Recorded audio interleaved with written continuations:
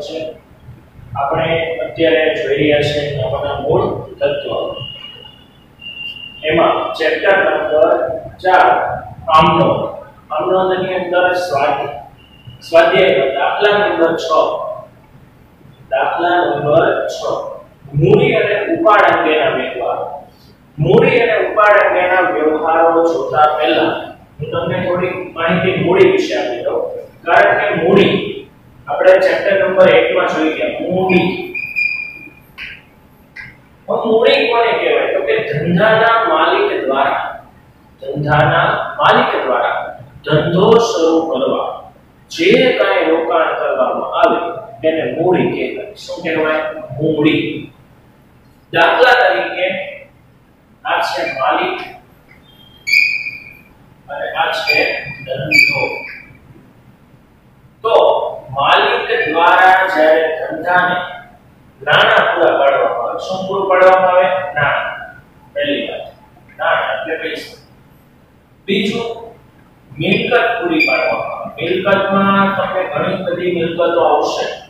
યાદ રાખજો. મિલકતની અંદર જમીન, મકાન, યંત્ર, વાહન, વાગડી સોરી વાગડી નહીં આવે. વાગડી તો એક ધંધાની એવી બાબત છે કે જે ધંધાની પ્રતિષ્ઠા છે. વાહન વગેરે જે છે ફર્નિચર વગેરે જે છે, એ માલિક દ્વારા આપવામાં આવે મિલકત એટલી કહેવાય. અને છેલ્લું છે માલ. જે પ્રકારનો ધંધો કરો છો, એ પ્રકારની વસ્તુ માલિક દ્વારા કોના દ્વારા? માલિક દ્વારા. તો માલિક દ્વારા પૂરી પાડવામાં આવતી હોય ત્યારે આપણે ખાસ બાબતને ધ્યાનમાં લેવી જોઈએ. તો, હવે આ થઈ મૂડીની વાત. માલિક દ્વારા આપવામાં આવે એને શું કહેવાય? મૂડી. બીજું એમાં કીધું છે ઉપાડના વ્યવહાર. ઉપાડ તો ઉપાડ ઉપાડ કોને કહેવાય? તો કે એમાં એક ધંધો અને માલિક બંને સમાવિષ્ટ હોય. માલિક દ્વારા, કોના દ્વારા? માલિક દ્વારા. અંગત હેતુસર અથવા તો અંગત વપરાશ માટે ધંધામાંથી જે કાંઈ લઈ જાય તેને શું કહેવાય? ઉપાડ. તો માલિક છે, પોતાના હેતુ માટે માલ લઈ જાય છે. પોતાના હેતુ માટે મિલકતે લઈ જઈ શકે અને નાણાં પણ લઈ જઈ શકે. તો ધંધાને, ધંધામાંથી લઈ ગયો એટલે માલિક લઈ ગયો એટલે ઉપાડ તરીકે ઓળખવામાં આવશે યાદ રાખો જો અહીંયા માલિક આપે તો મૂડી છે અને લઈ જાય તો ઉપાડ છે આવા ઉપાડ અને મૂડી અંગેના વ્યવહારો નો દાખલા નંબર 6 દાખલા નંબર 6 સ્વાધ્યાય પેજ નંબર 102 ઉપર છે ટેક્સ્ટ બુકમાં આપેલો. તો એના વ્યવહારો આપણે અત્યારે જોવાના છે. આમ નોંધનો દાખલો હોય, એટલે ખાના, એના બધાયના સરખા હોય. પહેલો ખાનું અહીંયા આવશે તારીખ. બીજું આવશે વિગત. ત્રીજો આવશે ખાતા. ચોથું આવશે ઉધાર રકમ. અને પાંચમું આવશે જમા રકમ. આવી રીતે ખાના ભર્યા ત્યારબાદ જેના ચોપડે છે, એનું નામ આપણે અહીંયા લખશું. તો શુભમના ચોપડે કીધું છે. અહીંયા લખવાનું શુભમ ના ચોપડે ઉપરનું હેડિંગ લખવું એ ફરજિયાત છે. હવે તમને વાત કરીશ વ્યવહારોની. તો વ્યવહાર કુલ છે? 1 2 3 4 5 6 7 8 કુલ 8 વ્યવહારનો દાખલો છે. મૂડી અને ઉપાડ અંગેના જ વ્યવહારો છે. આમાંથી અહીં તમને ખરીદીનો વ્યવહાર દેખાશે નહીં. માલ અંગેનો વ્યવહાર નહીં હોય. ખર્ચના વ્યવહાર નહીં. મૂડી અને ઉપાડ ધંધાના માલિકે ધંધાને કેટલું આપ્યું વગેરે 2014 જાન્યુઆરી. તો અહીંયા તમારે તારીખના ખાના પહેલા જ લખી દેવાનું. 2014 જાન્યુઆરી હવે દર વખતે આ લખવાનું થશે હવે તારીખ ક્રમ. નંબર 1 વહેવાર વાંચો છું. મેં તમને આગલા લેક્ચરમાં કીધું હતું કે ભાઈ ટેક્સ્ટ બુક લેવી ફરજિયાત છે. કદાચ અહીંયા લખેલો વહેવાર દેખાય નહીં અથવા તો હું લખું પણ નહીં. કારણ કે હવે પછીના જે દાખલા આવશે મોટા આવશે. તો વ્યવહાર અને દાખલાનો જવાબ બંને બોર્ડ ઉપર સમાય એવી કોઈ શક્યતા હોય નહીં. ત્યારે વ્યવહાર મારે લખી શકાશે નહીં. તો આપણે ટેક્સ્ટબુક ફરજિયાતપણે લેવું રૂપિયા દસ હજારનો માલ છે. પંદર હજાર રોકડા, પાંચ હજારનું ફર્નિચર અને એક હજારના દેવાદાર લાવી ધંધો શરૂ કર્યો. ગઈકાલે એટલે કે આગળના લેક્ચરમાં આપણે જોયું. આગળના લેક્ચરમાં આપણે જોયું, ભાઈ આવો જે વ્યવહાર ઉદાહરણ નંબર 2 ઉદાહરણ નંબર 2 સેમ આને જેવો જ વ્યવહાર એમાં ધંધાઓ શરૂ કરવા માટે માલિક આપતો તો આમાં ધંધો શરૂ કરવા માટે તો પહેલો આપ્યું છે માલ સ્ટોક તો ધંધાનો માલિક ધંધાને આપે છે. માલિક માલ સ્ટોક આપે, ધંધામાં આવે. આપણે કોને હિસાબ લખીએ? કે ધંધા. એટલે આપણે ધંધા વિશે વિચારવા આપણે ધંધા વિશે. ધંધા માલ સ્ટોક આવે. કયા તારીખે એના પર માલ સ્ટોક ખાતે ઉધાર કેટલા રૂપિયા છે 10000 નંબર બે રૂપિયા પંદર હજાર રોકડા માલિકે પંદર હજાર રોકડા આપ્યા માલિક દ્વારા નાણા ધંધા રકમ આવશે ધંધા રોકડ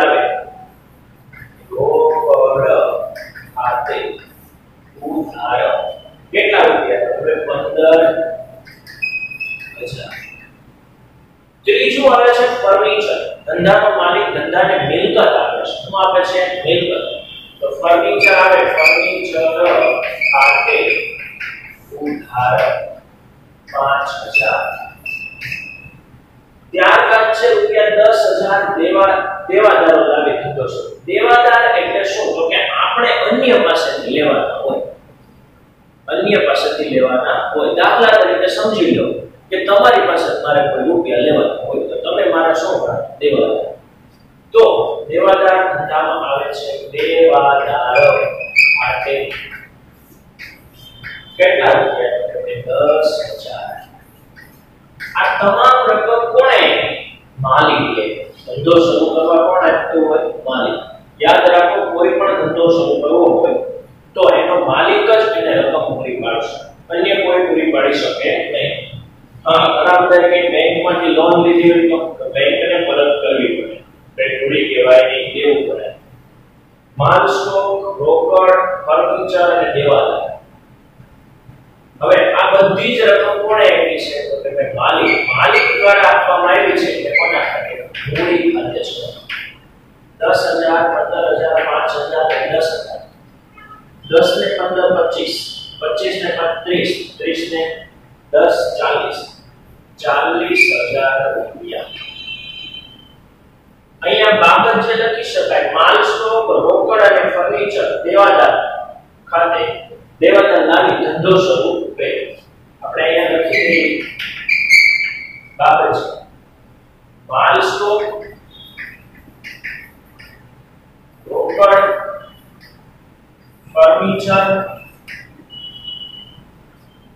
એ દેવાદારો લાવી ધંધો શરૂ કર્યો નંબર 2 એટલે કે 12 તારીખ 12 તારીખ અંગત મોટર કાર 80000 માં વેચી અંગત મોટર કાર એટલે કોની મોટર કાર હોય માલિક કોની માલિક માલિક અને ધંધો બંને કેવા છે અલગ કેવા છે અલગ અલગ ધંધો કૃત્રિમ વ્યક્તિ છે માલિક જીવંત વ્યક્તિ છે તો અંગત મોટર કાર 80000 માં વેચી તો એમાં ધંધા કઈ લેવા દેવા હોય નહીં આટલો વ્યવહાર છે પણ આગળ હું કીધું વેચી 50000 રોકડા ધંધા ધંધા કેટલા લાવ્યા 50 ભલે 80 માં વેચી કે લાખમાં વેચી, ગમે એટલા વેચી. એને મફત આપી તો ધંધા નો જોવાનો. 80000 ની મોટર કાર 50 સોરી 80000 માં વેચી 50000 ધંધા લે. તો આપણે કેટલા ધ્યાનમાં લેવાના હોય? 50000 ધંધા રોકડ આવે છે રોકડ ખાતે અને તે માલિક આપનાર છે મૂડી ખાતે અંગત મોટર કાર એટલે કોની હોય માલિક કેટલા લેવા કે 50000 અને 50000 બાબત જે આમાં લખતો નથી લખી શકશો તમે એમ લખવાનું કે ભાઈ રોકડા ધંધામાં લાવ્યા અથવા તો અંગત પટકાર વેચી ધંધામાં રોકડ લાવ્યા તેર તારીખ. ઘર ખર્ચ માટે એક હજાર રોકડા અને રોકડા બેંકમાંથી ઉપાય ઘર ખર્ચ માટે ઉપાડ્યા. ઘર કોનું હોય માલિક ધંધા ઘર હોતું નથી. હવે માલિકના ઘરે વાપરવા માટે બેંકમાંથી કેટલા ઉપાડ્યા? એક છે માલિક લઈ જાય એટલે શું કહેવાય? ઉપાડ કહેવાય. ધંધો છે, ધંધો. ધંધાના બેંક એકાઉન્ટમાંથી માલિક લઈ ગયો. તો માલિકના ઘરે ગયા. માલિક લઈ જાય છે એટલે શું કહેવાય? ઉપાડ. તો પહેલો અહીંયા લખાશે ઉપાડ. ખાતે અને આ રકમ આપનાર કોણ છે? કે બેંક ખાતે જમા. કેટલા રૂપિયા તો કે 1000 અને 1000 બાબત છે. બાબત છે. બાબત છે મેં લખવાનું કે અંગત વપરાશ માટે બેંકમાંથી ઉપાડ્યા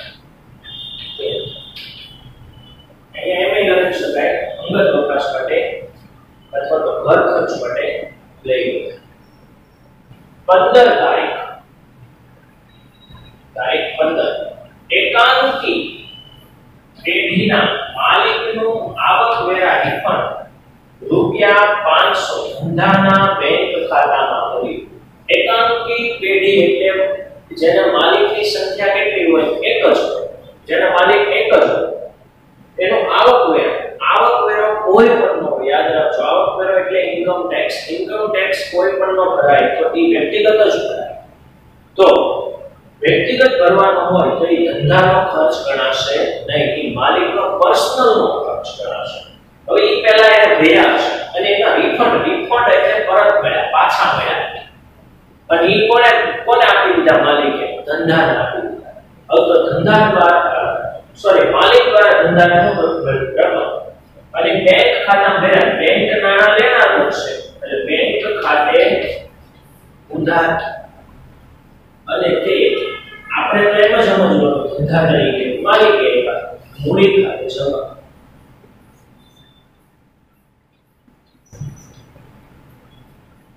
બાબત છે આવક વેરા રિફંડ ના પંદર પંદર પછી વીસ તારીખ ધંધામાંથી અંગત વપરાશ માટે એક હજાર નો માલ જોઈ લેજો. અહીંયા તમે અંગત વપરાશ માટે એટલે ઘર ખર્ચ માટે, ઘર ખર્ચ શબ્દ વાપરો. વ્યવહાર નંબર 13 નો ઘર ખર્ચ. અહીંયા રોકડા. અહીંયા અંગત વપરાશ બંને એક ઘર ખર્ચ જ માલ લઈ ગયા તથા રોકડા કેટલા લઈ ગયા? 400 બંને વસ્તુ માલિક જ લઈ ગયો છે અને માલિકનો જ ખર્ચો છે. માલિકનો જ્યારે ખર્ચો હોય, માલનો ખર્ચો હોય કે નાણાં હોય કે મિલકત હોય તો કોના ખાતે લખાશે ઉપાડ ખાતે. લખવાનું ઉપાડ ખાતે. કુલ કેટલા? 1000 નો માલ 400 રૂપિયા રોકડા. તો કુલ 1400 રૂપિયા. અને માલ લઈ જાય ત્યારે ખરીદ ખાતું. મેં તમને પહેલા લેક્ચરમાં આમનો સ્ટાર્ટ કર્યું, ત્યારે પહેલા લેક્ચરમાં કોસ્ટ લખાયું છે. ઉપાડથી માલ જાય ત્યારે. તો ઉપાડ ખાતે ઉધાર ખરીદ ખાતે જમા જેટલો માલ લઈ ગયા ખરીદ ખાતે જમા થશે. ખરીદ ખાતે 1000 અને બીજું છે, ચારસો રોકડા લઈ ગયા રોકડ ખાતે 400 બાબત છે, અંગત વપરાશ માટે ધંધામાંથી એક હજારનો માલ તથા રોકડા ચારસો લઈ ગયા ત્યારબાદ આપણે અહીંયા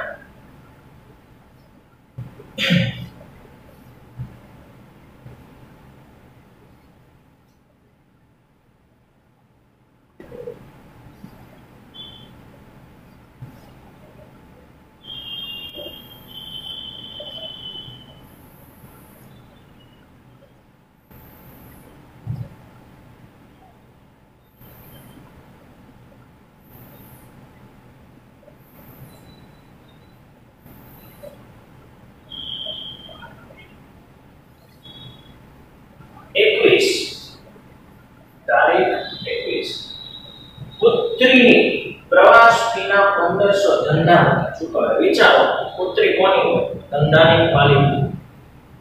અહીં તરત જ આપણે કહીએ કે ધંધા ન હોય અને માલિક કારણ કે ધંધો જીવંત વ્યક્તિ છે નહીં. પુત્રી વ્યક્તિ છે. એને કોઈ સંતાન ન હોઈ શકે. માલિક જે જીવંત વ્યક્તિ છે, તો એને દીકરી, દીકરો હોય, તો એની પુત્રી ની પ્રવાસ વિના પંદરસો ધંધા ચૂકવવો કોની પુત્રી? માલિક. ખર્ચો કોને? માલિક. આપણા પપ્પા હોય, મતલબ કે તમારા પપ્પા છે, એ તમારી સ્કૂલ ફી ટ્યુશન ફી વગેરે ભરશે, તો ખર્ચો કોને? તમારા પપ્પા. તો ઈ તમારા ઈ પ્રમાણે તમે વિચારો પુત્રીની પ્રવાસ ફીના પંદરસો ધંધામાંથી ચૂકવવો હવે ધંધામાંથી ચૂકવે તે અંગત અંગત ખર્ચ કહેવાશે. માલિકનો ખર્ચો કહેવાશે ધંધાને પણ કાંઈ લેવા દેવા નથી. ધંધા પ્રવાસમાં જવું નહીં. પ્રવાસમાં તો માલિક ઉતરીને જવું તો અહીંયા ઉપાડ ખાતે ઉધાર અને રૂપિયા પંદરસો ચૂકવ્યા છે. રોકડ જાય, રોકડ ખાતે પંદરસો પંદરસો. બાબત છે પુત્રી ના પુત્રી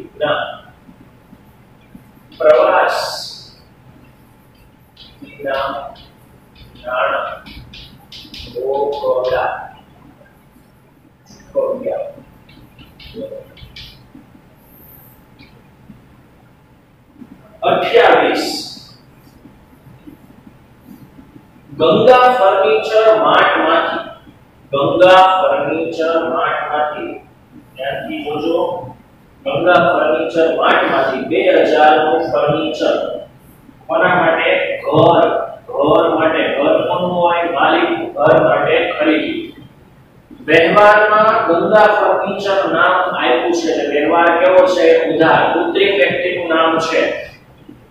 અને ઘર માટે ખરીદી. તો એમાં ધંધાને કોઈ ફાયદો છે? નહીં. પણ ધંધાની રૂપિયા અમુક સમયે ચૂકવવા પડશે. તો એને ઉપાડ કહેવાય. અહીં લખવાનું. ઉપાડ ખાતે. ઉધાર. અને તે આપણને ફર્નિચર આપનાર કોણ? તો કે Ganga furniture. Ganga furniture. Mart ખાતે. અહીંયા પહેલું તો કેટલા રૂપિયા છે?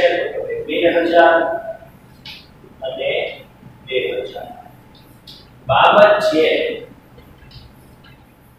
ઘર માટે માટે શાક પર ફર્નિચર ખરીદ્યું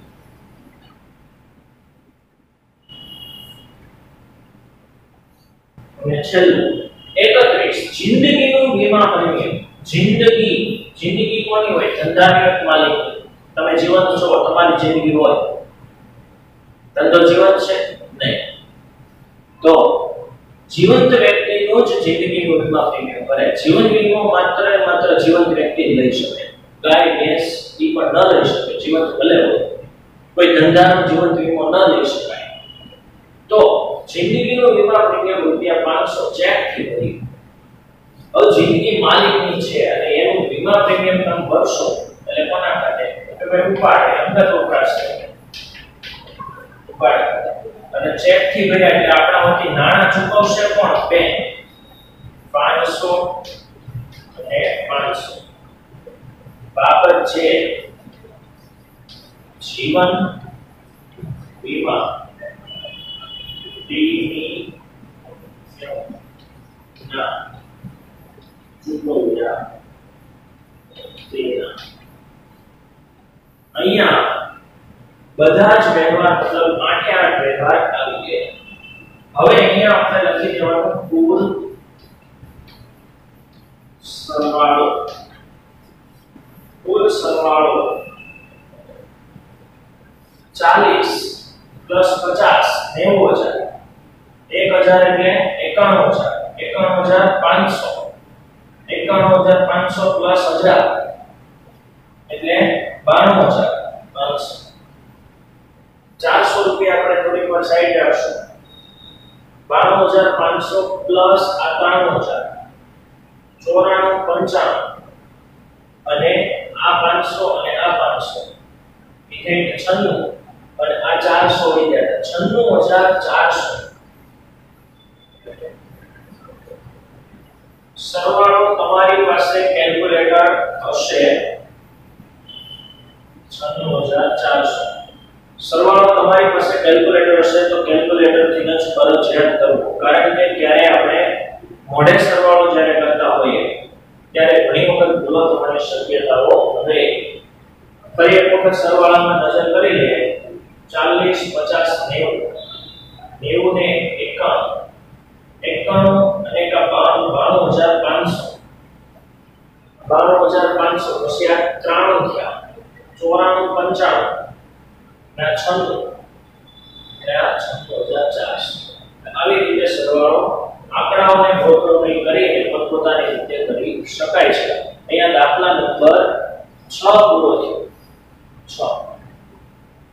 હવે ટેક્સ્ટ બુકની અંદર આના જેવું જે ઉદાહરણ હોય તમારે જાતે થોડું પ્રેક્ટિસ કરવાનું રહેશે, તમને કઈ ઉદાહરણ નંબર કે છે, તમને એ પ્રમાણે તમારે ઉદાહરણ કરવાનું રહેશે.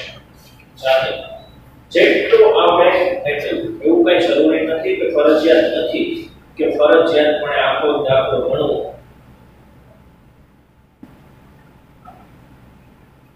ઉદાહરણ નંબર ત્રણ. અહીંયા લખી દઉં છું. હોમવર્ક ઉદાહરણ નંબર 3 આ દાખલો તમારે જાતે પ્રેક્ટિસ કરવાનો છે